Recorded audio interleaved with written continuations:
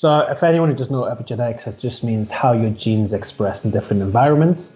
We are all different. So what works for me doesn't mean it's going to work for you. And that's the biggest issue I feel in the health and fitness world. You see all these influencers saying, do this, you know, get up at five o'clock in the morning and meditate. Yeah, that works for a lot of people.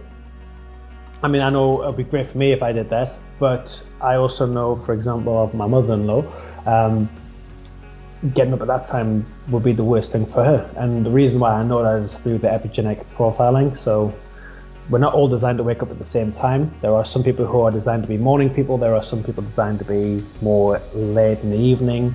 Um, and then all, it connects into food as well and lifestyle and kind of how we process certain emotions and kind of the people who we want to be around.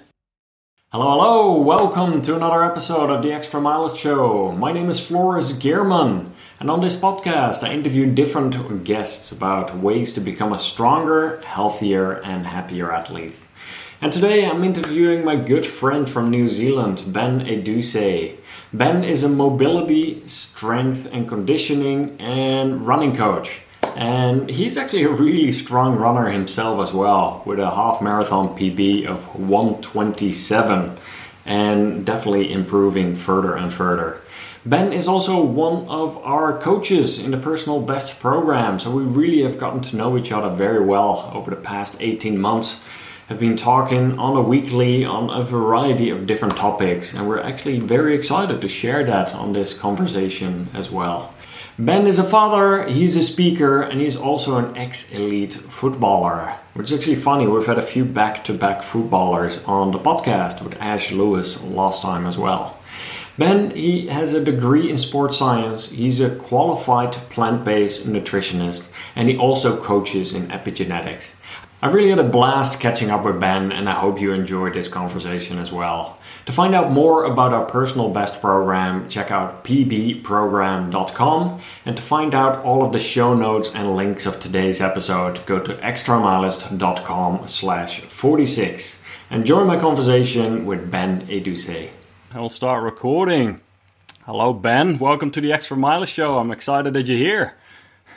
Cheers, Floris. Um, yeah, I'm excited to do this. It's been a long time coming, and uh, yeah, let's just get into it. Absolutely. It's been probably for about 12 months now that I think we've been talking almost on a weekly basis, or at least once a week.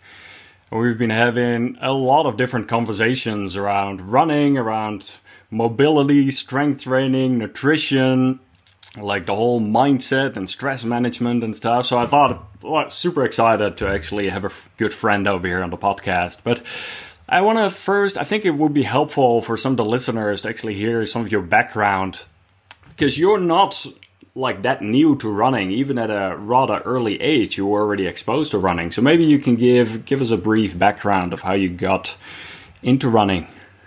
Um, yeah so i mean originally i'm from the uk so I played football or soccer, depending on where you are on the planet. Um, and I played to a pretty reasonable level. You know, I was able to play lower league professional football. Um, was able to represent country, my country as well, which was pretty pretty awesome. And um, you know, with soccer or football, running is a huge component of that. So I'll be honest with you, I used to hate running. I, it was the the worst part of football was the running aspect. Um, and there's plenty of it too.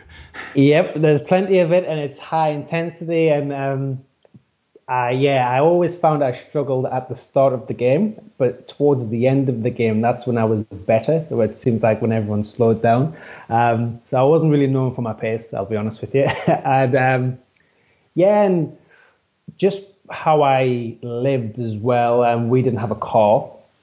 So when it came to moving around, I was either walking or running, um, and that was kind of my means of transport. So yes, I didn't like to, but I kind of had to at the same time. And um, I was just talking about this with yourself, Floris, a couple of days ago. That um, I remember I did a cross country event and there was quite a few people there and I finished third, but I never realized at the time. I kind of had to do it. It wasn't something that I wanted to do. Um, and um, I just wish I could have gone back there and had a word with myself and been like, Ben, this could be something that you might enjoy later on in life. Uh-huh. Um, but I, I, didn't. And um, yeah, and then yeah, came over, got a, scouted to come over to New Zealand to play football, and um, eventually uh, a game happened when uh, I asked someone their age, and they were half my age, and that was I was like, that's time for me to maybe retire, and it just there was one instant where they'd moved a certain way, my brain moved that way, but my body didn't go that way, and I was like, the moment that happens, it's time to retire, and um, yeah, I needed something to do, and I just thought, why not? I was running for a my auntie's, and she was she's got an orphanage in Ghana, so I'm half Ghanaian, and um, and I was like, well, it's a good cause. I need something to do. Um, I'm not very good at sitting around doing nothing. It's painful to watch, and my partner was like, yep, get yourself involved, and that's kind of how my I guess running journey started. But as as I say, the more I look back at it, is I had a pretty good foundation just from the sports that I played and just how I lived at the same time as well. Yeah, because when you're training at such a high level of soccer or football here, like mm. you're pretty much training every day, right? Like you're working out. Like, what is that? Is that a lot of high intensity training? Is that do, did you guys do some lower intensity too? Was it a lot of strength training? How was that? Um, it was interesting. It, it, the higher le- the higher I got in football, the lower intensity the training was, um, and it was the aim was when you had all the doctors and the physios and stuff. It was all trying to get you match fit for Saturday or Sunday. Yeah. So it would be you would play a game, you would have recovery, light sessions, and then it would be slowly kind of increasing the intensity, but not too high. It was never something ridiculous. And then match day would happen and that would be the big event. And obviously there's preseason where preseason would be terrible. That would be lots of hard work. And that would be a combination of strength work.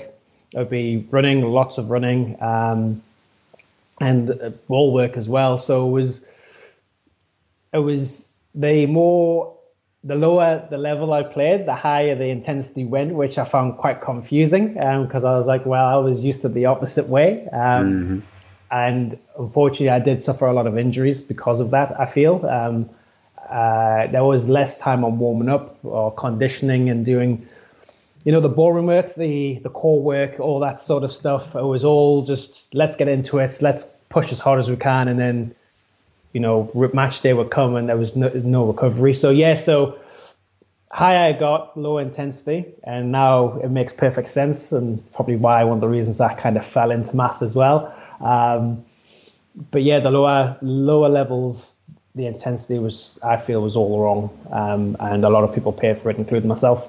Yeah, yeah. Talk to talk to me a little bit more about that because obviously you have experience with training at different intensities. You've you've you've experienced your injuries along the way. Like, what was that like for you? At what point did you start to look at this of like, oh, maybe there's a few other approaches here, or like how did that transition happen, and what did you start noticing? Um, I guess it was it, it started probably I'd say 18, 19. Really, I was quite young when it started happening. It was it would be just when I was starting to hit form and I was performing well, an injury would happen, and it would the same thing would happen again. I would have a good for a good kind of couple of months of training, and I would be performing really well, and then all of a sudden there was the same sort of injury. It was always like a pull or a tear, um, and it felt like it was never really going away. And that made me look at how I was training, and in particular, I thought, well, I don't have enough strength training in. Mm-hmm. That was my initial thought. So I started to do a lot more strength work. However, what I did, I trained the wrong way. I trained kind of what you do would see other people do in the gym. So I was just doing, you know, the bench press, the bicep curls, um, very little leg work. It was building my upper body. So if anything, I was actually making myself less productive as a, as an athlete. Um, and eventually, I started learning about different aspects of training because of my areas of expertise and being a trainer. And event, I started doing lower body work, but even then, injuries were still coming up because I was lifting too heavy. It was every session felt like it was a I was trying to go for a, a new personal best, which is which is the complete wrong way to train. Um, and if I wasn't sore the following day, then you know I hadn't pushed myself hard enough. I definitely came from that mindset. Um, and yeah, unfortunately, my dad passed away when I was 25, and my health went downhill pretty rapidly. And that was kind of, I would say, that was the major turning point, um, just because I my body just wasn't able to meet the demands of the lifestyle I was living, and I had to readdress how I lived, um, and I had to build from the foundation up again, and that meant just doing a lot of body weight work and just moving around, and that was probably when for the first time in my life, I could say I went with probably 12 months without any significant injury, and I was like, "Well, hold up here. This could be this could be something pretty pretty good to look at."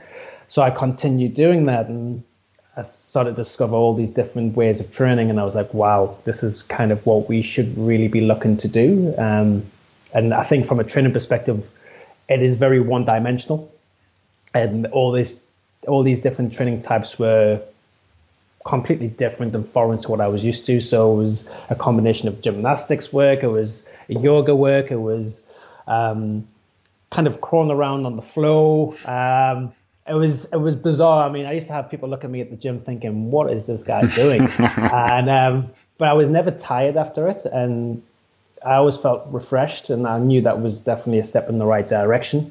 So I would say it was probably, unfortunately, me losing my dad and kind of hitting that low point where that was the major turning point for me to change my approach into training. Yeah.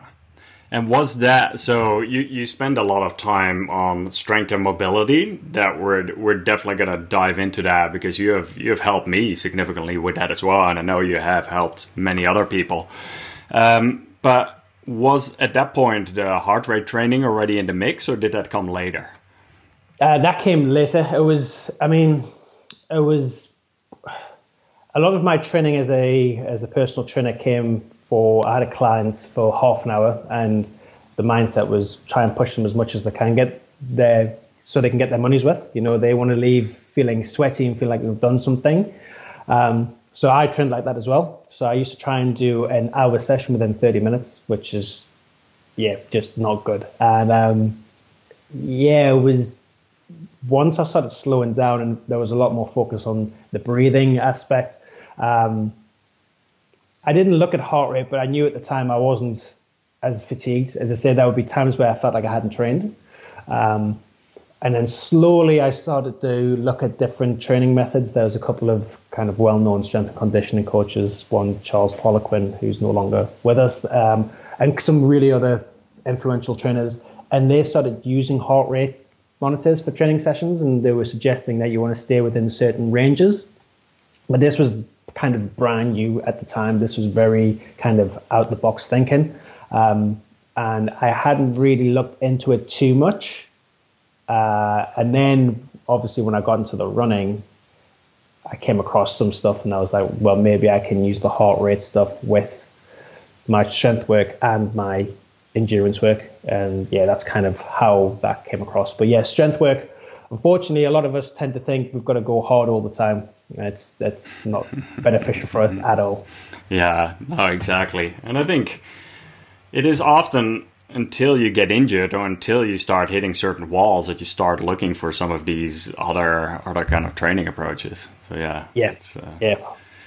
That, that's interesting. Um, so tell me a little bit more about when you are working with different clients, like you don't necessarily go the traditional route, like you're saying. Like when you go to the gym, there's different ways that you can approach it. And you're saying at certain stages, people started looking at you weird. So, so what are some of those basic fundamentals that you apply there to its to its your like strength training, mobility, and how do you integrate that in with some other people too? Um, I kind of get the clients, and I'll sit down and talk to them first, and be like, guys, if you're training with me, expect expect something different first and foremost. And um, I talk about longevity. I'm a huge fan of longevity and being able to do what we love for as long as we can. You know, it's the whole purpose of the gym for me is to feel better outside the gym and to look better outside the gym. I don't really care what I look like when I'm there. It's um, it's a it's a it's a form of trying to improve myself. Um, and as I say, with my experience, I realized that I wasn't very flexible. I had very limited flexibility, but I was strong. And I learned strength without flexibility is pointless, and being flexible without being, having been strong is pointless. It's the combination of the two, and that's what, as we as we know, as mobility is. So a lot of the stuff I had to start working with, and I was working with a couple of other guys and some mentors as well. Well, I was looking at my feet. It was building from the foundations. So it was sitting in certain postures. It was being able to get to and from the flow without using my hands in different positions. You know, things that we do, well, what we should be doing on a daily basis. And um, if anyone's got kids, they'll understand what I mean. You, are on the floor and getting up all the time. And, and they, you, they make it look so easy. That's the other thing. Yeah. They would squat down next to you as if it's nothing. yeah. yeah. Yeah. But it's, and that's the thing. It's like a child doesn't really know how to move. They don't know the most efficient way, so they will just get up and down. And because their bodies are just so mobile, they're able to do that. And in theory, we should be able to do that pretty much for quite some time. You know, it shouldn't be that we lose it when we hit 20. You know, I've got clients who are 60 or 70 who move better than me now. You know, it's they have fantastic movement abilities. So um, yeah, so it was kind of just building on being able to sit down on the floor first, and known as the, known as archetypal postures, and then trying to put them into flow movements. So trying, I like things that kind of connect into each other and have a nice flow to it. So um, I started to integrate some of that, and then there was there was a huge kind of um, rise of animal movement. So there was animal flow and things like that, and that all connected into just being able to have a solid foundation from the ground up. And then from there, it went into more strength work where it's, you know, it can be press ups and, and pull ups, just being able to hold, hang onto a bar, you know, fantastic thing to do to help lengthen the spine, you know, decompress the body from the stress that we tend to have from a day to day perspective. And um, yeah, that's kind of how it went. And twisting the body as well. We don't twist enough. Um, yeah, the body is designed to move in a whole host of different positions. But realistically, the gym, when you look at the gym, you know, if you look at a squat, a lunge, a press, that's probably the basis of 90% of all the gym movements. You know, it's, but we're designed to do so much more. It's kind of like just eating a diet of, you know, one or two things and expecting us to have all the nutrient requirements. It just doesn't work like that. So, um, yeah, so that's kind of what I started looking at. And it was like the more, obviously, you know, the more weird the exercise became, that's when I started to, I need to include that as well. So yeah, so it's, it's sort of from there. So I think one thing that was interesting is we we just recorded a bunch of different videos together for the personal best program, and one thing that I found so interesting is that you've been talking to me one on one a lot about like sitting on the floor and doing different positions. And that part right there, it sounds so easy. Yet, like I know whenever you and I talk, you're often sitting on the floor, you're moving around, and like with certain cushions or anything like that. I literally like so I would sometimes lower my standing desk and I would be like, oh yeah, now I'm gonna work and sit on the floor here for like 20 minutes and just do that. Literally within one minute I'm uncomfortable and I feel like I have to change again and my concentration is out of the window like that. But t- tell me a little bit more like how like in what sort of way would you think about integrating that throughout the day? Or or is that do you do that a little bit here and there? Or is that um, more like throughout the day itself? Um, I mean obviously it all depends on i mean the last couple of years especially with covid and everything like that and a lot of people working at home it's been easier to incorporate more movements because you know, if you've got a home office, then you, as you say, you can move your desk. But if you're in a work office space, it's a lot harder. You know, if you start sitting cross-legged, people will be like, uh, "What's going on here?" Um, so I kind of think of, I like to think of movements, uh, the connection with movement and food. That's a, a there's a huge thing there. So I like to think of there's a movement breakfast, lunch, and dinner, and if you can get some snacks in between, that's fantastic. And that can be you incorporating some sitting on the flow I mean, if, if you're watching TV, it's the perfect opportunity. You know, don't sit on the couch. Get some cushions, try to make it as comfortable as you can. But the thing is, you kind of want that uncomfortable pain, but not pain, but uncomfortable unease is a sign to say move into the next position. It's that's the body telling you, like, I've had enough of this one. We need to move into a different one. Um, and what you should notice is the more that you do that, that the longer you can sit in these positions without the pain, which means that you've actually got that range of motion and you've got the strength to hold there. So yeah, if you can, I'm a huge fan of first thing in the morning trying to get some movement in. It doesn't have to be and you know a full on yoga session. It doesn't have to be an hour long. I do a basic routine which takes I think I've got it down to like two or three minutes, which just hits all the body parts. I like to hit the ankles, the hips, and the back. They're the kind of three main movement areas. If they move well, then the rest of you tends to move well. Um, and then it could be, you know, if you are needing to drive, um, can you drive a little bit further away from your workplace so you can do a quick 10, 15 minute walk to the office? Um, if you are at office every hour, so can you just have an alarm on, so just to remind you to go and have a walk around the office or go to the toilet uh, or water break or whatever. Um, I tend to think at lunchtime, if you can have something, go for a walk first and then have something to eat as well, that would be really good because that also helps to improve digestion. Um, and then, yeah, when you get home from work, yet again, it could be a five, 10 minute walk around the block with, you know, your significant other or the kids or whoever, um, listening to an audio book or some music and then sitting down in these positions as well. So it doesn't just have to be sitting down; it can be getting outside if you can. Um, but yeah, just the thing is, something's better than nothing, and yeah. I think that's the biggest mistake that a lot of when it comes to movement, we tend to think we've got to do the full routine, otherwise it's a waste of time. Where even if you're doing something one or two percent, that's better than what you were doing a week ago, and that's it's not it's it's a very slow, gradual build up, very similar, you know, to running training. Um, it's not you can't expect to do one session and then be able to run a, a marathon or a half marathon. It takes time. Um, yeah, it's just the consistency of it. So, but make it realistic. That's my biggest thing. Is if you can only have two or three minutes a day to do something, use them. Use that. Don't try and think, oh, I'm going to try and do it for 45 minutes when you don't have the time. Yeah, yeah, start small for sure. One thing that helps me a lot, and you, you and I have talked so much about water and drinking throughout the day. It's just like yeah. having like a big jug of water next to you, and because yep. you're downing water all the time, you kind of have to pee pretty frequently, kind, of, kind of moving moving around. So. Yep, yep, and um, yeah, another thing is uh, for anyone, if you are moving and you're drinking, you'll find that your body's actually able to loosen off better. Um, if you're sitting down and drinking lots of water, it'll kind of just sit in the gut, which makes you go to the toilet, which is movement. You know, it is a form of movement. But if you find if you can kind of combine combine the movement with the water, you'll find that you probably don't need to go to the toilet as much, um, and you get you're getting the benefit of the fascia moving, which is allowing the water to get in there and staying well hydrated, which is going to only help improve mental and um, sport performance. Yeah, well said. Talk to me about your first experience with MAF low heart rate training. How did that go, and and what were some of your takeaways there? Um, ego got bruised big time. Uh, first first run I went on, um, so I had the Garmin watch. I didn't have the heart rate strapped around um, my chest, and I was running, and I'm like, I think I was running around before this, I was running, you know, I used to run at a decent speed.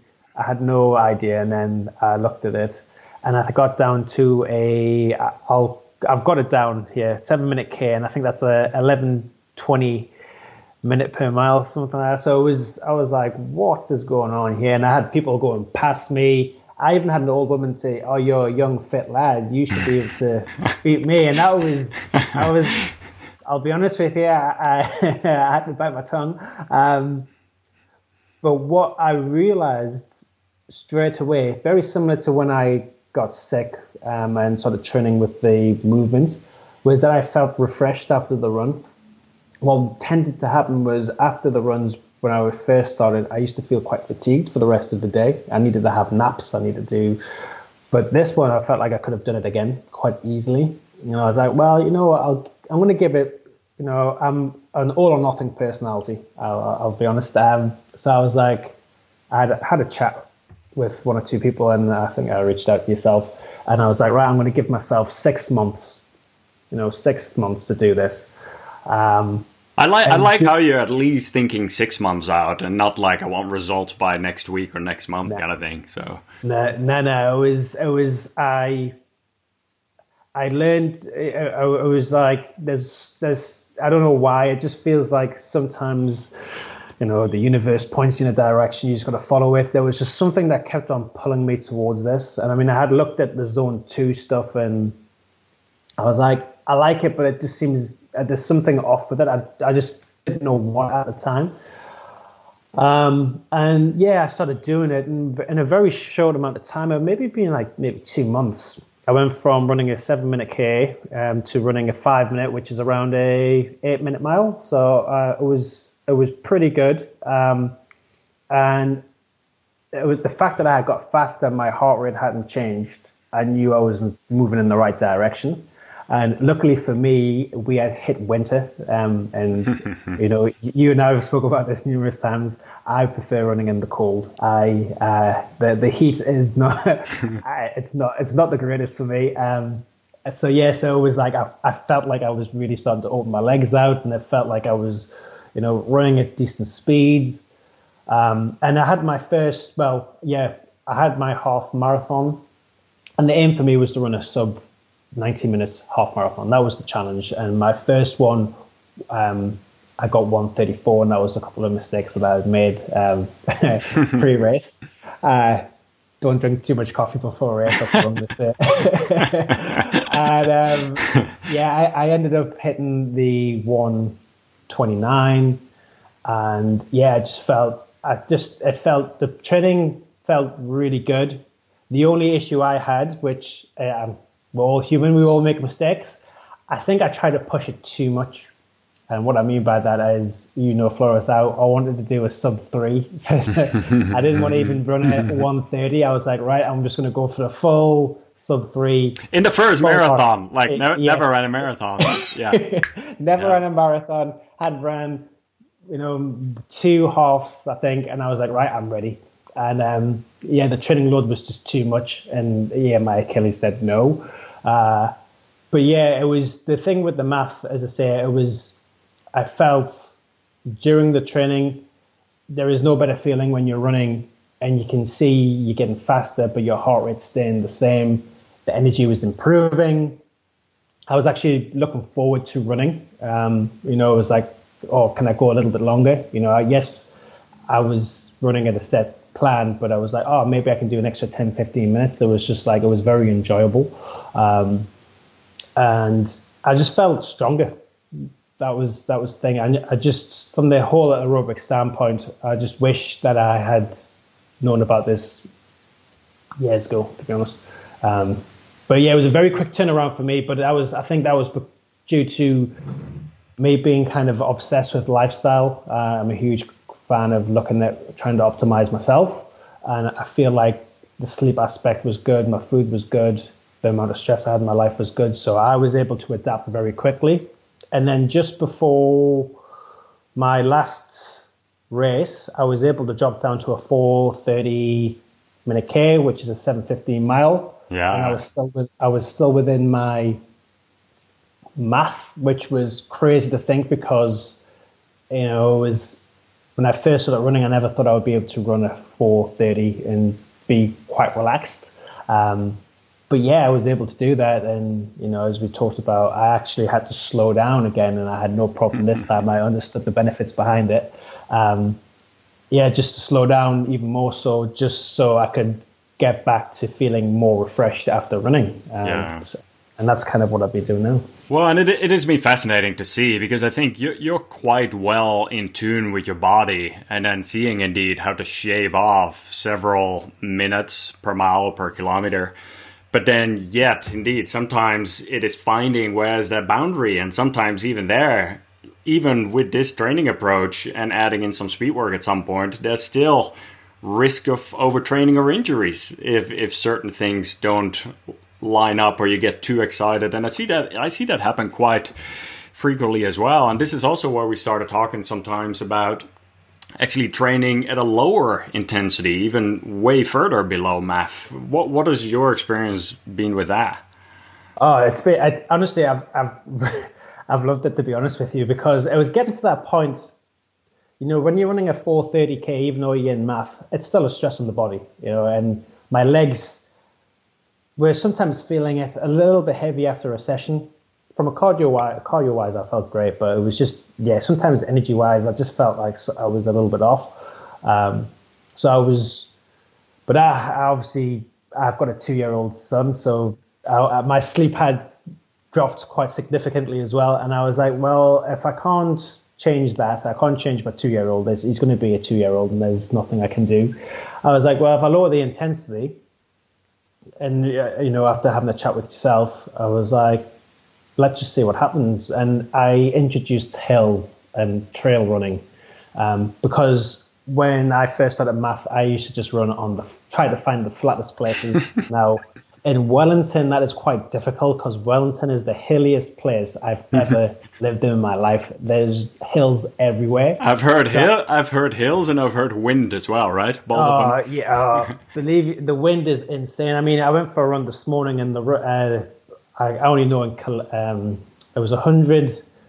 100k winds. I don't know what that is in miles, but I mean, like 60k hit, or 60 yeah, miles. That, wow.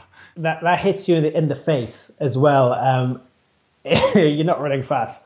Um, and it's Wellington's got that wind where no matter what direction you're going, it's always hitting you in the face. It never hits you from the back to push you forward. Um, so there's always that resistance training there.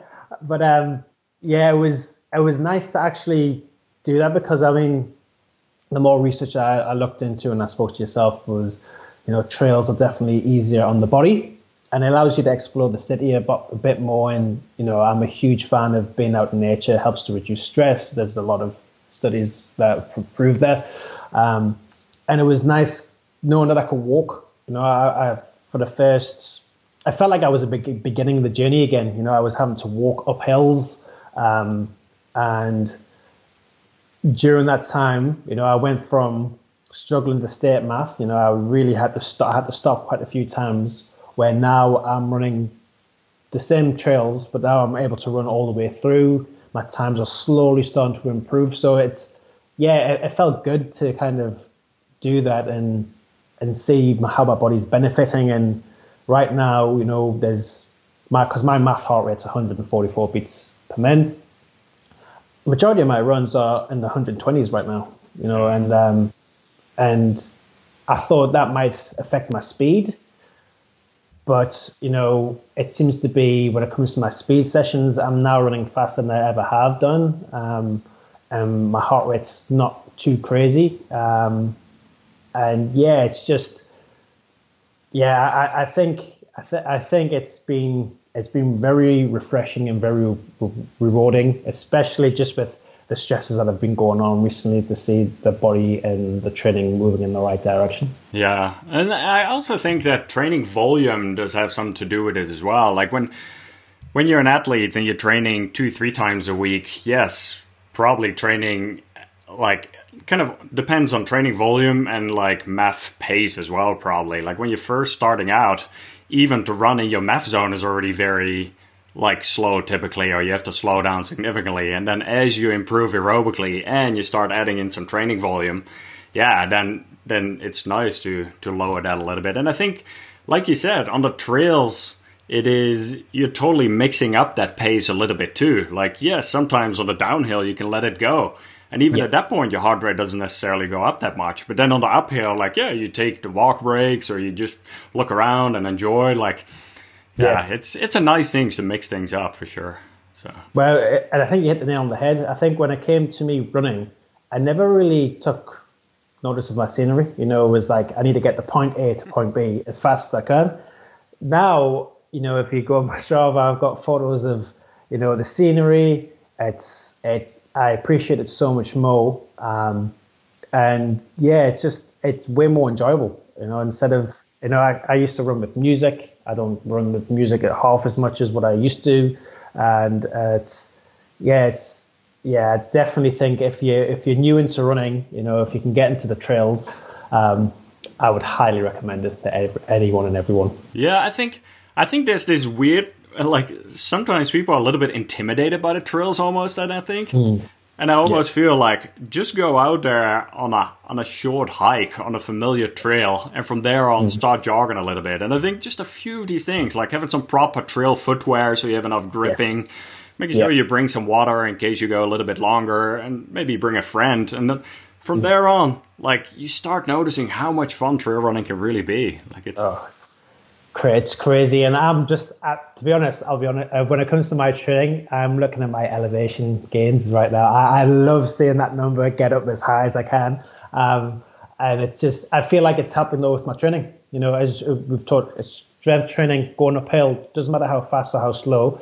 That walking up an incline is going to get your glutes activated. It's going to strengthen the quads, strengthen the calf muscles, everything that a runner needs to get faster. Um, yeah. And then as and then when you're running down, that's going to be improving, you know, your stride frequency, your, maybe your stride length as well. So, you know, there's a reason why the top athletes tend to spend time on trails. And if you want to improve your performance, I, uh, I've mentioned before, get into get into the nature, and you'll see the benefits from it pretty much straight away. Yeah, for sure. Talk to me a little bit more. Like, so there's different people who experience progress in the low heart rate journey. Some people start progressing rather quickly, like yourself. Mm. There's also people who might not progress for, let's say, three months, four months, five months, or they might start getting frustrated. Like, based on your experience, do you have any suggestions there? Any high level thoughts on how to go about that? Um, yeah, I mean, I, I, actually now I'm training others to run at this, so I'm starting to experience um, a couple of these issues. First thing is, let's just look at your lifestyle. You know, let's just stress. Stress is a hard one to measure because it's all it's very it's personalized. It's some people have a high resilience to stress, some people don't. I can tell you right now, the amount of stress that we're going through today is probably higher than it's ever been. It's, there's, there's, we're constantly bombarded with stress, and just because you're used to that level doesn't mean it's healthy for you. Mm-hmm. Um, so usually, first thing is I'll start looking at if there's any areas of opportunity for some changes. Sleep, huge, another big factor. You know, we don't sleep as much as we used to. You know, you ask a lot of adults, do you have a bedtime routine, and they'll be like, eh, what are you talking about? It's like yeah, well, we do it for kids to help them sleep. Why don't we do it to ourselves? So sleep would be another thing. Um, also, nutrition. You know, what you eat before you go into bed. Are you eating a tub of ice cream before you go to sleep? You know, I, I, I know over the weekend I had something a little bit sweeter um, before a run, and the following day I felt awful. Um, I just just know uh, what you're eating before you go into bed, or even during the day. That's going to cause you know potentially chronic inflammation the environment that you're in, you know, you're watching news, the news a lot. You know, I mean, unfortunately, there's a lot of bad things that are happening in the world, and yeah, even though we're watching it, it still has a huge part of our, in our subconscious. So, you know, not being ignoring the world, but just being aware, but not having to watch it day in day out. Um, what else would I say? The type of training that you're doing. So, are you going to the gym you know, five days a week lifting, doing classes or high intensity sessions, and then trying to run on top of that. And you know, that's the the types of running that you do because you've talked about this before. I, I see it a lot with clients when it comes to the Strava. I'll have a look at the heart rate, and the average heart rate within that. But you look at the heart rate per k, and it's way higher than it should be. And they're like, "Well, it was average," and I was like, "Well, no." It's the whole thing is you never want it over at all, the whole thing. And they're like, oh, well, you know, I just, I, and I'm like, that's cool. You know, you can do that. And, you know, we talk once a week or something like that. If you're still base building, if you just want to have let, let go, as you talked about with me over the weekend, um, that's cool. But when you're doing it every run, yeah, it, it comes to affect your overall performance. So yeah, so there's a there's a lot of different factors that kind of going into performance, and um, I think they often get overlooked. Uh, as, they're very basic, they but they are so important. I think I think the stress management that you talked about earlier is so spot on because as much as I am aware of it as well and I know it about myself, you actually helped me tremendously. Even like six months over the past six months, like holding a mirror in front of me where I'm the one talking about, oh yeah, keeping stress levels low and whatnot. Yet mm I was pushing it pretty hard on a lot of different fronts between path projects, between launching the new personal best program with a ton of work that went into that, with the family, with like a bunch of different things. And so you and I would be checking in, and sometimes we would recap like how each other's week was going. Mm. And you would actually tell me, and I'm very thankful for this, like, yes, there's a time, just like in training, there's a time to train you kind of like train towards a race and then at that point you almost have to step back and recover a little bit and that's the same with life too. And i thought actually Rich Roll was recently talking about this point as well and it was right in line with what you and i had talked about and i was so thankful. Like maybe you could share some additional thoughts there. Yeah no and, and i mean it's unfortunately in life, in life life kind of just goes on. That doesn't stop. And we kind of just think right well this is a stressful event's happened and we just move on. The body needs time to recover. It's like anything. It's it's like anything. It's um, and we just kind of think that we've dealt with it, where the body may hold on to stuff. You know, this could be traumas from years and years ago. This could be just something. You know, it could be financial stress. It could be whatever. There are so many different forms of stress. When you start looking at them, you're like, wow, actually, I am just a big ball of stress. And if and as uh, I, I say this to clients as well, the most important part of the training for me is when I write training plans is the rest and recovery or active recovery days. That's the most important part because that's when the body's absorbing the training and you're getting the benefits. Now, if you're putting that into your day to day life, when are you doing that over the weekend? Or, I mean, sorry, over the week. Are you doing that at the weekend? The likelihood is probably not. You know, a lot of people tend to go out, try and do a multitude of different things, and they're not allowing their body to fully kind of break down what's gone on and just take a step back to be like, actually, you know what? I've done some pretty amazing things over the last couple of weeks, and I mean, I'm can reference yourself, you know, as you, I, I think you, the videos that you've done, um, I can't remember the number. Was it 90? no, 95 new videos. 95 videos in that program. That's insane. Um, and it's like the body will need time to adjust and just get back to that homeostasis, back to kind of just being neutral. And when you do that, and it's you'll find that your body will appreciate it so much more. And when it appreciates it, that's when it adapts to uh, in a positive way. I mentioned it. I'll mention this in a different way. You tend to be in two states. You're either catabolic, which means the body's breaking down, or you're anabolic, which means the body's growing and getting stronger. If your lifestyle is promoting more of that catabolic life, then you're literally on a slow road to illness and underperformance and just not being great. And if you're anabolic, that is more success in yourself, in your relationships, and every other aspect of your life. But the key is is that then rest times and uh, giving yourself a set times make it as the most important part of your week for me is you know spending time with my family. That's I find that is that rejuvenates me. Going for just a walk, communicating, you know, so you know mm-hmm. having phone calls.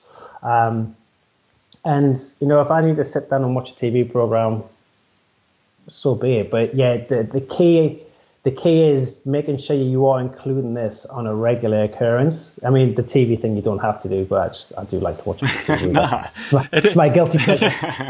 um, but yeah, it's yeah, it's it's, and then also addressing the root causes of things as well. So if there's something that's bothering you, you know, don't try and ignore it because the likelihood is the body's holding on to it, and yet again, that's another internal stress as well. So um, yeah, there's yeah. that's a whole that, that can go quite far. Oh, no. uh, conversations, yeah, for sure. it's it's it sounds cliche, but my mom was always saying back in the day, like, yeah, you have a rubber band, and like you don't want to have that stretch too long. Like you want to let like let that go back for a little bit, or it's not stretching anymore. So yeah, yeah. Hundred percent, hundred percent. Yeah, um, I know you're a fan of the knees over toe guys and backwards walking and backwards running. Tell me a little bit more because I know you do this quite frequently. You told me to do this, and my yep. a- my ass was absolutely on fire. Like I, I, I've been doing it a little bit here and there already, and then like truly starting to do it a bit more consistent, and even on a jogging. Obviously, like you have to be careful with how you ease into it and whatnot. But tell tell me a bit more there. Yeah, well, I mean, it was a lot of my clients were complaining about knee pain. That's why they came and saw me at the first first place, or be ankle pain or back pain. There was always a pain. It was dysfunction. Yeah.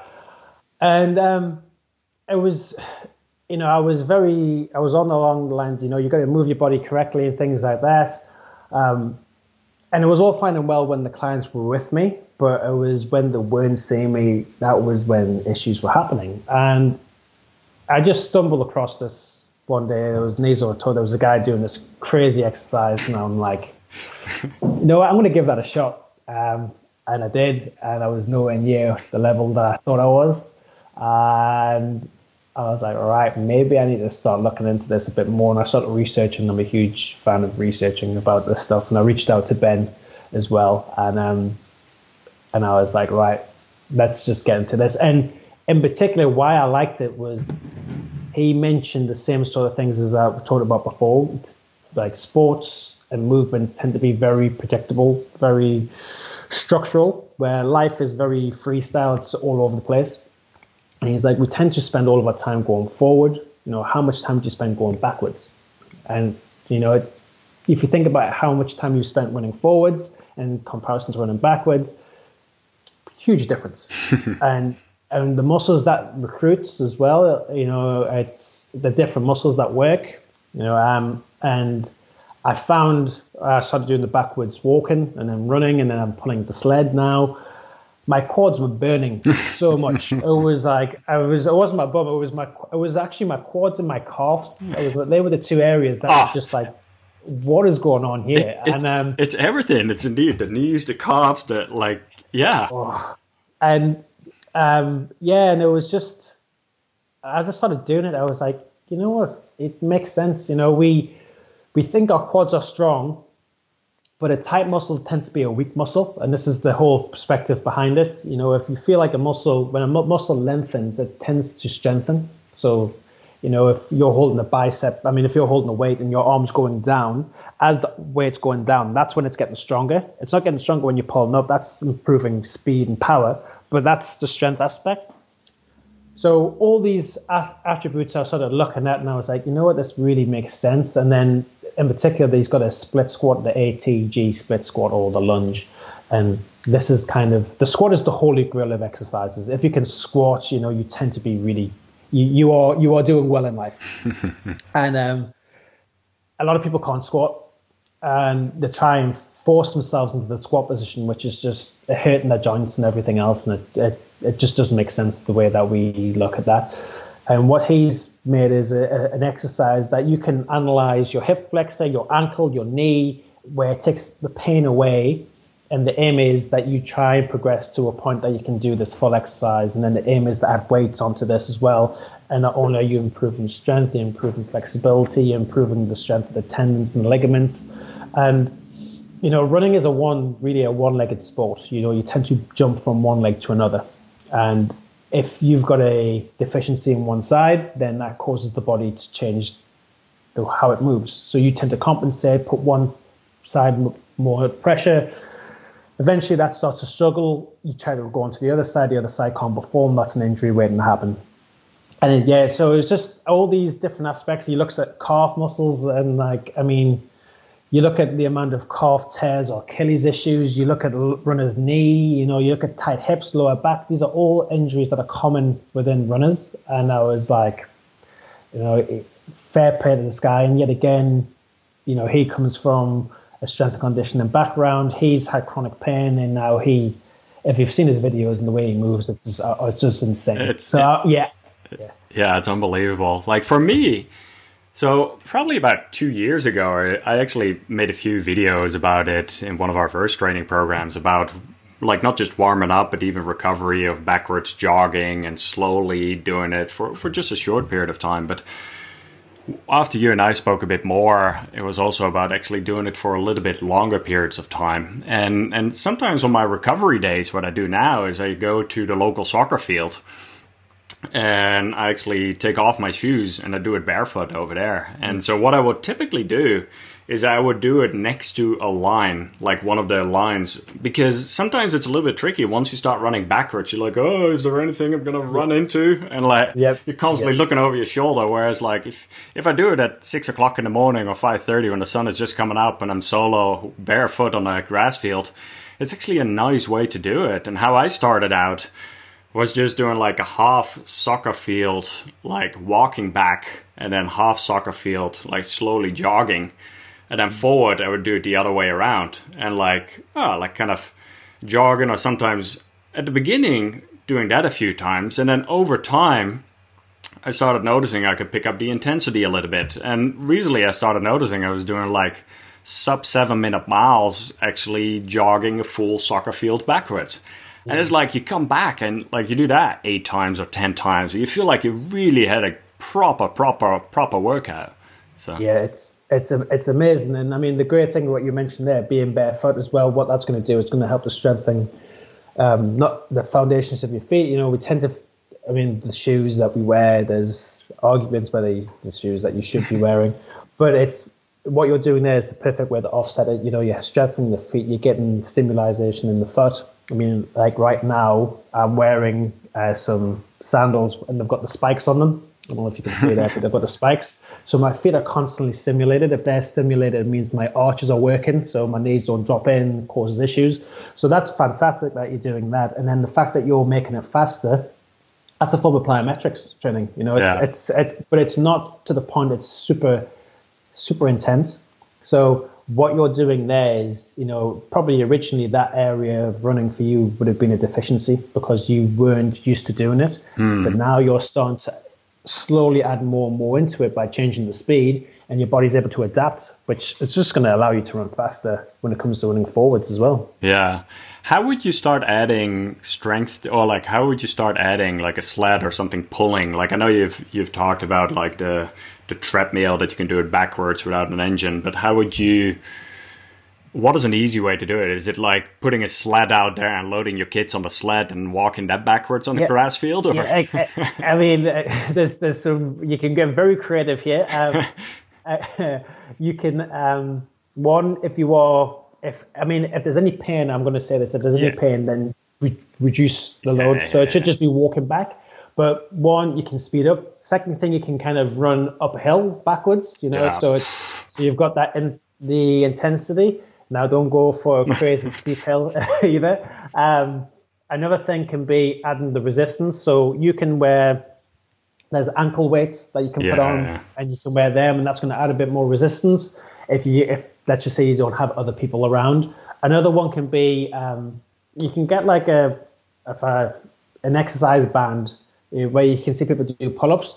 You can literally have someone if you've got like uh, someone to help you. They hold onto the front, and then you've got to try and drag them back, um, and they'll go forward. And then you can one can go first, and the other one can go, so you can have a bit of a rest in between. Um, other ways you can do it would be, um, yeah, obviously with the sled. I know some people do it with the car to take the handbrakes off the car and they're just walking back, which is just insane. Um, I wouldn't recommend doing that. Uh, um, That's some world's strongest man kind of shit, uh, man. That, that's I mean. It, it, it gets pretty crazy. Um, and it's it's yeah, it's basically just seeing what you've got. But I mean, the most basic one, as I mentioned, is walk backwards first, and then slowly start to increase it.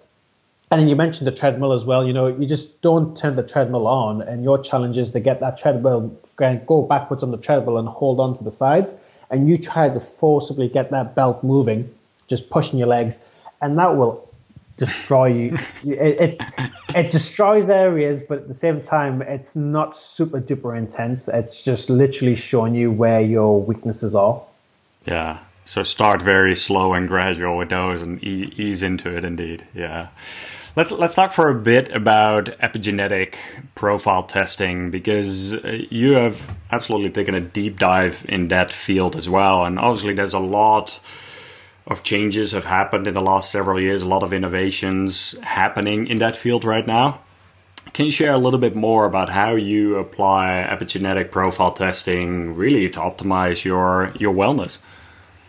So, if anyone who doesn't know epigenetics, it just means how your genes express in different environments. we are all different. So what works for me doesn't mean it's going to work for you, and that's the biggest issue I feel in the health and fitness world. You see all these influencers saying, "Do this," you know, get up at five o'clock in the morning and meditate. Yeah, that works for a lot of people. I mean, I know it would be great for me if I did that, but I also know, for example, of my mother-in-law. Um, getting up at that time would be the worst thing for her. And the reason why I know that is through the epigenetic profiling. So we're not all designed to wake up at the same time. There are some people who are designed to be morning people. There are some people designed to be more late in the evening. Um, and then all, it connects into food as well and lifestyle and kind of how we process certain emotions and kind of the people who we want to be around. You know, I am known as an ectomorph. So there's three body types. There's a ectomorph, which and uh, Floris, your one, which tends to be would tend to be quite lean, um, better at endurance events, uh, quite tight through our spines. There's a whole different characteristics. There's a whole, and as you go through them, you're like, wow, this person's really got me. Um, and then there's the kind of the mesomorph, and they're more of the, I would say, the fitness uh, magazine types where all the muscles look fantastic and just do everything, kind of like a CrossFitter. And then you've got the endomorph, which is more of the power lifter. You know, they tend to be bigger, just strong. Um, and depending on what body type you are, you will have certain characteristics that you want to be focusing on to help optimize yourself. Um, and this kind of gives you a profile of the best times for you to eat, what foods that you want to be eating, what foods you want to be staying away from, and most importantly, why. So if you want to know the why and the science behind it, there is that there best times for you to exercise, best times for you to chill out. Um, also, the, as I mentioned, the people you want to be kind of steering clear of or people you want to be socializing with. And it just allows you to understand why you work the way you do. And for people who have just constantly just grinding and pushing and kind of not really listening to their body, it's a really good way to be like, well, maybe if I do one or two of these things, I'm able to push performance that little bit more, if that's what it is, or if it's someone who's want to improve their health, it gives them a kind of a guidelines of what they want to be doing and why they want to be doing it. Um, but yeah, it's now got to the point. I mean, you and I have experienced, Floris, when it comes to in particular protein. We had a we when it comes to eating protein. I won't go into too much detail. But uh, let's just say our bodies don't react very well to when we eat a higher protein diet. But right now, protein is the buzzword. You know, it's you've got to get protein, protein, protein, protein. I know um, I can eat a decent level of protein, so around 15% of or 15 to 20% of my calorie intake can be protein. If it goes above that, then I tend to have uh, not too great uh, side effects. Let's just say um, you become a you become a fart machine. yeah, I said it. I'm, I'm, I'm, not too fun to be around, and um, my partner's like, "You need to stay away from me." Um, so yeah, it's it and it's just knowing them little things. It's and I'm not trying to say live perfect. You know, there's no such thing as perfect in my eyes. Um, if anything, it's just the word is just a disaster waiting to happen. But it's making sure that you know, majority of the time you're pushing yourself in the right direction, and and able to feel better. You know, uh, for me, there is no better feeling when you, you wake up first thing in the morning and you have energy. You know, it's there's there is nothing worse than when you wake up and you're like, oh God, I've got another day ahead of me. And I mean, it just doesn't make sense. You know, we're designed to feel good during the day and then rest in the evening. Um, so yeah, so it's it's it goes into a lot of detail. It can be quite overwhelming, and the whole purpose for me is to try and help you make sense of this and kind of create a plan that you can follow and try and use that information to to optimize yourself. Yeah, it was it was incredibly eye opening for me. Like about a year ago, you sent me one of the questionnaires, very detailed questionnaires to fill out, which I did. And afterwards, you came back to me with like, all right, here's what your energy levels are like. This is the the, the like optimal time to wake up and perform, and all of the. I'm like, holy shit, this guy knows more about me than I know about myself. but it's so spot on. Like it was, it was really interesting, and I'm I'm the type where I'm often trying to optimize energy levels as well. And like you said, you and I both, we wake up rather early, have have a good amount of energy, but then at some point, like yes, you try to get like I try to get like some of the deeper work, harder work done in the morning and then do some more of the follow up stuff or email catch up or phone calls or meetings a little bit in the later stages of the day. And like just like having open discussions about that and even the power of taking for example a nap for me at at one o'clock in the afternoon taking like a 20 minute nap it feel like a million bucks again. And it's almost like the second part of the day just became like your morning all over again from an energy level. And i think yep.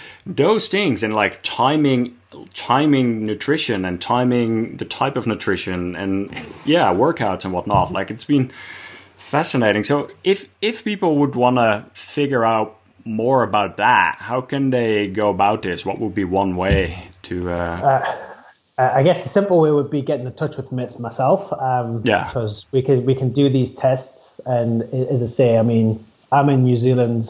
Obviously, Floris, you're in America, so it can. It doesn't have to be in the same country. It can be done, like I say, through Zoom calls or Skype or whatever. Um, and yeah, I can. I kind of spend what you just said there. I spend my mornings doing my more brain work, and then in the afternoon I do more of my movement work. So usually is I would try and get clients in the morning, and then in the afternoon I would look, work with clients in the afternoon. But yeah, get in touch if you're interested in knowing more. I'm more than happy to point you in the right direction. Um, and yeah, just as I say, just anyone who's going to be looking to do this, just go with an open mind, and because it's it can be quite confronting for a lot of people. You know, it's just like no one likes to know that they might have been doing something that could be hurting them or is not ideal for them. So know that it's coming from a good place, and um, yeah, if you follow it, like I say, I've had some amazing results for people who follow it. So, and I've changed my lifestyle based on the results that were given to me. Yeah, absolutely. Good, well said. Um, so over the last 18 months you've really been on this this training journey of of experimenting a lot with with heart rate training with racing for you, what were like if you would have to give any recommendations to other people looking to get into this type of training? Like, do you have any high level thoughts over here for other athletes who truly want to improve their performance and their overall health? Um, yeah, first one is definitely uh, look at the look at your stress in your life. That would be the first and most important aspect. Um, trust the plan it's it sometimes it can be difficult, you know, when you you feel like you're not seeing progress or things like that. But just know that you every time you're doing something like this, you're pushing your body to be more optimal, and it's it's helping to iron out the creases that maybe in your previous lifestyle might have been affecting your performance. Um, and give yourself a, enough time to be within building that base. The base is you know, I don't care. All the best athletes, all the best sports teams. If you look back, it's always about the fundamentals. It's the common theme. If you look back, the team with the more solid fundamentals tend to be the teams that perform best when it comes to under pressure or or whatever. So always look at them foundations, and the best way to build your foundations is do base training. Um, if you're going to plan for races, I like to think of more more the two or three races a year. Um, also, make sure that you are incorporating movement work. So, move work um, or mobility training, just different types of movement patterns, trying to move your body in as many different directions as is designed because that's what we're naturally designed to do. We aren't designed to do one thing only. Um, and seek advice. You know, like don't feel like you've got to do it yourself. Um, you know, the greatest thing I ever did was reach out to Floris and you know, occasionally, even though I know what I know now, I will still go to, to Floris straight away when it comes to something that I'm not sure of. Um, I still have mentors about strength work and things like that. I don't pretend that I know it all myself. I don't try and take it on myself. Um, you learn more from doing that, and um, yeah, it'll only come to benefit you. And uh, yeah, if you can, with COVID kind of starting to reduce now, or I don't know where I know in New Zealand we're very, very fortunate. but if, if if you can run with people, you know, if you can like connect with people, have a group, keep yourself accountable. Um, yeah, I'll probably say they're the kind of main foundations of the program that I would look at. Yeah, spot on. It's really nice to start like to start seeing more races happening again. I was at my first race, like when was it, two weeks ago in Arizona, and there was Cocodona, like a 250 mm. mile race, and just seeing people excited again to race and to be together. And, and yes, mm. it was mm. still in a relative small capacity, but, and I know that it's been different in all parts of the world, but yeah, like running with some other people, like can, can be such a motivating factor. And I think you, you hit it right there as well. I think it's spot on to, surround yourself with some other people too, whether it's mentors or a running group or whatnot. Like just so you're not at it alone. You have some accountability and and you can really learn from each other. I'm I'm I'm reading a lot too, and I'm surrounded myself with a lot of other people. We're all learning from each other, and I think that's that's such a great way of going about it. So mm, yeah, that's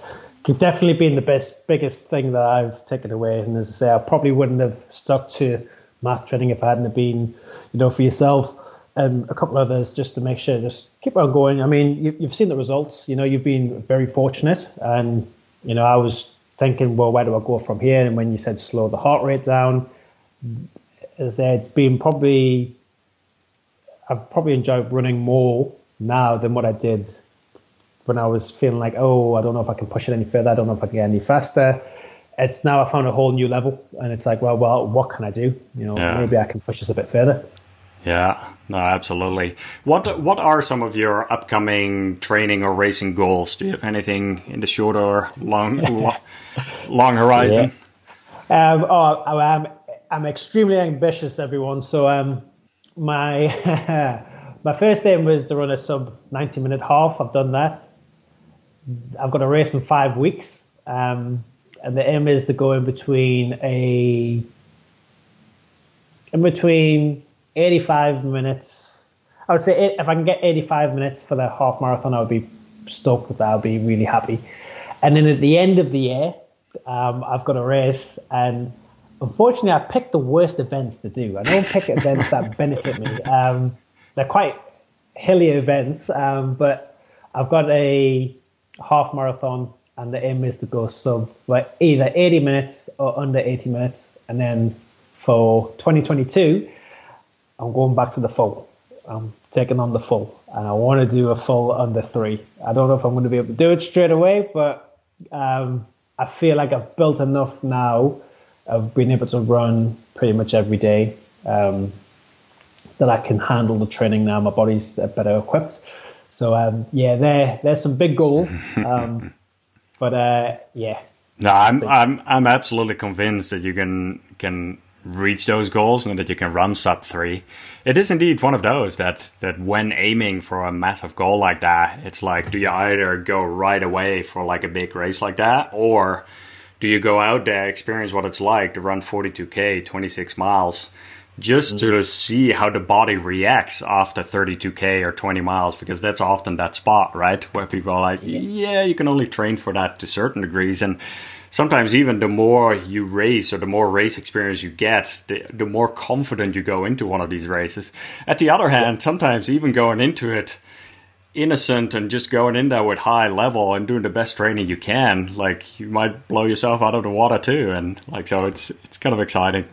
Yeah, no, I'm definitely more, of the more races I've done, the more confident I feel because before a race, my heart rate for one of the races was insane. I could not believe it. I was standing there, my heart rate was like 160 beats. I was, I was like, what is going on here? And um, I remember our aim, we had a race plan, and my heart rate was well above what it should have been to begin with. But then, as soon as kind of the race started to drop, um, but yeah, it was the more you get used to that, and you know, breathing techniques and just knowing the plan and following the plan a couple of times is going to help. And I'm giving myself the whole of 2020 to do a, a, sub three, so I might have to do one or two races beforehand. But um, yeah, uh, I'm definitely of the notion do it a couple of times so you know what you're doing, um, and you know, fail fail forward. I this. Failing is the best thing, and for me, has been the most valuable lessons in my life. You know, every time I've failed at something, it's I don't even say failing; it's just been a learning experience. It's yeah. not what to do or what not to do for next time. So um, yeah, so I'm not defined by the times, but it would be nice to have them to give myself a pat on the back. exactly, exactly.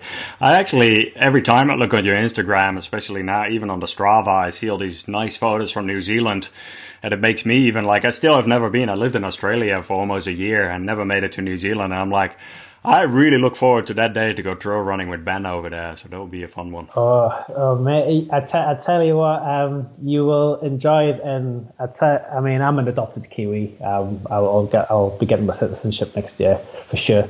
Um, the one great thing is every it's a very welcoming community here. Um, yeah, I'm running now with groups of people who from all different walks of life, and um, yeah, it's there are some pretty spectacular views, but just no, just be prepared for that wind. Uh, it is insane.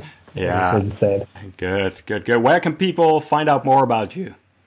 Um, yeah, so I'm on Instagram. Um, uh, just type in my name, Ben Edusei, um, on Facebook as well. And I'm currently trying to start with um, some encouragement from Floris, my own YouTube. Um, I'm trying to document kind of my running journey and trying to help others. So yet again, just type in my name and that will pop up on YouTube as well. And uh, you can have a good giggle at uh, the, the, the videos that I'm doing. Um, but yeah, if you, and if you want to get in touch with me, there's an email as well, um, which I'm sure Floris can give you and get in touch. Good. No, many different YouTube videos being uploaded already, and it's really good to see several of the videos on there. And I'll absolutely make sure to link to that all below in the show notes. So good stuff, Ben. Thank you so much for sharing, and um, yeah, look forward to connecting sooner than later again. So take care, and um, yeah, look after yourself, everybody.